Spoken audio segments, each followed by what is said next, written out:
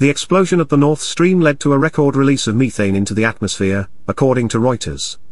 Before that, the largest emission of such gas, which destroys the atmosphere of the Earth, was recorded last September in the Gulf of Mexico,